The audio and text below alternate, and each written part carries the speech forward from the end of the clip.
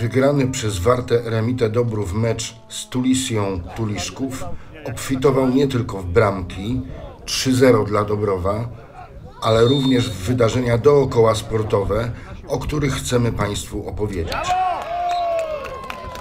Pierwszym z nich było przekazanie przez wójta gminy Kościelec Dariusza Ostrowskiego profesjonalnych toreb sportowych dla zawodników Eremity. Ja chciałbym Wam wszystkim bardzo serdecznie podziękować. Już to robiłem w ubiegłym roku. Przede wszystkim robiłem to dla trenera, prezesa, działaczy wszystkich, a dzisiaj chciałbym tak na szczęście pogratulować Wam poprzedniego sezonu, ale jednocześnie życzyć, aby, yy, abyście spełnili oczekiwania kibiców, bo oni przychodzą po prostu tutaj po to, żeby Was oglądać i cieszą się z tego.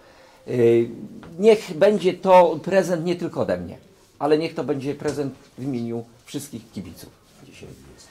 Pozwolicie, że symbolicznie, symbolicznie na y, ręce trenera złożę, a po, a po wszyscy otrzymacie takie torby.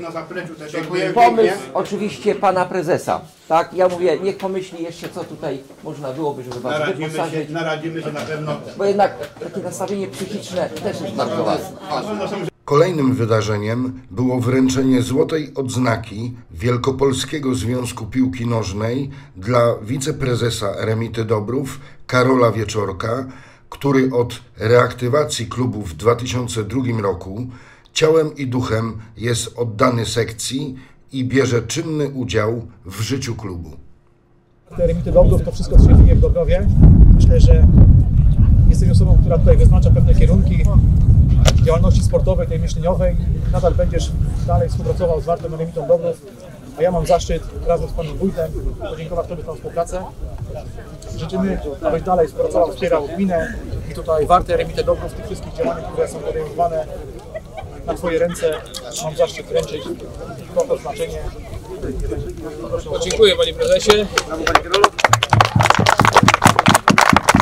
Gratuluję sukcesów dalszych. Dużych razem tutaj. Żeście mnie tu zaskoczyli. Dobra. Wszystkiego dobrego. Dziękuję. Dziękuję zawodnikom w szczególności, bo to dzięki nim to wszystko tutaj się jakoś odbywa i, i to jest najważniejsze, co się w tym dobro i naszym dzieje. Dziękuję również wójtowi, dziękuję prezesie Tobie, również naszemu prezesowi. Też Serdecznie dziękuję. Będziemy działać, myślę, że będziemy. Osiągnięty wynik meczu, przypomnijmy trzy bramki dla Dobrowa, napawa optymizmem zarówno kibiców, jak i zawodników. Wierzymy w to, że ten sezon piłkarski będzie można zaliczyć do udanych i tego im życzymy.